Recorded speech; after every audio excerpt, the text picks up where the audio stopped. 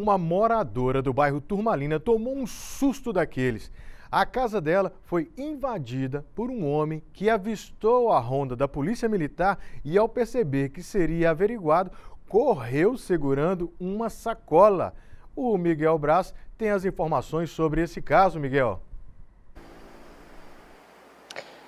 Pois é, Roberto, e esta ronda da Polícia Militar era exatamente por isso, viu? Porque a PM estava em patrulhamento, estava em operação, a Operação Mateus 59, quando entrou a informação de que o homem fazia o comércio de entorpecentes em uma rua no bairro Turmalina. Então a equipe foi para lá, mas quando ele viu a polícia, saiu correndo para a casa de uma moradora que ficou assustada, viu? Então, autorizada, a equipe da Polícia Militar entrou no imóvel e recolheu a sacola que o homem carregava.